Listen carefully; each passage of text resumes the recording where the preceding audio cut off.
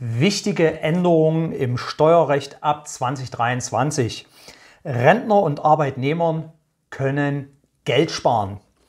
Mein Name ist Peter Knöppel, ich bin Rechtsanwalt und Rentenberater von Rentenbescheid24.de.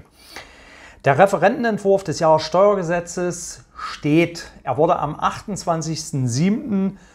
vom Finanzminister Lindner veröffentlicht. Es gibt viele Änderungen im Steuerrecht auch für das Jahr 2023.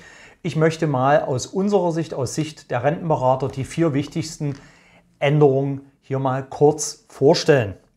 Zum einen, der Grundfreibetrag steigt. Der Grundfreibetrag soll von derzeit 10.348 Euro auf 10.633 Euro im Jahr 2023 und im Jahr 2024 auf 10.933 Euro steigen.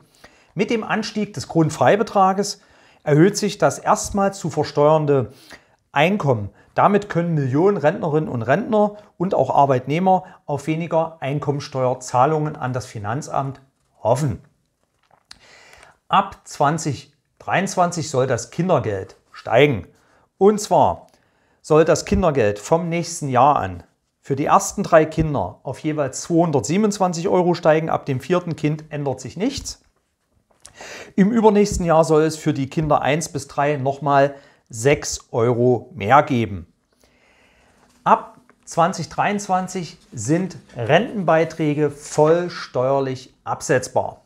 Ab 2023 werden alle gezahlten Rentenbeiträge, die ein äh, gesetzlich Rentenversicherter selbst in die Rentenkasse einzahlt, sei es als Arbeitnehmer oder sei es als pflichtiger Selbstständiger oder freiwillig Versicherter oder Rürup-Rentner voll steuerlich absetzbar sein.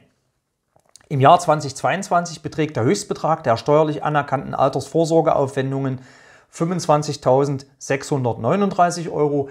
Davon sind im Jahr 2024 94 Prozent absetzbar. Ab 2023 gibt es dann diese Begrenzung nicht mehr. Das hat was mit dem Doppelbesteuerungsurteil des Bundesfinanzhofs aus dem letzten Jahr 2021 zu tun. Das heißt also, im Gesetz, äh, im Koalitionsvertrag war das geregelt, dass der Gesetzgeber hier eine Änderung herbeiführen wird.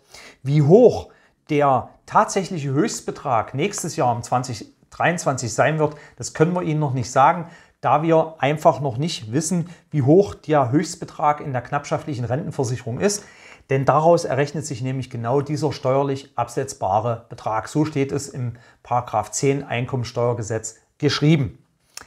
Und was für uns natürlich auch ganz wichtig ist, der Grundrentenzuschlag, der ist steuerfrei.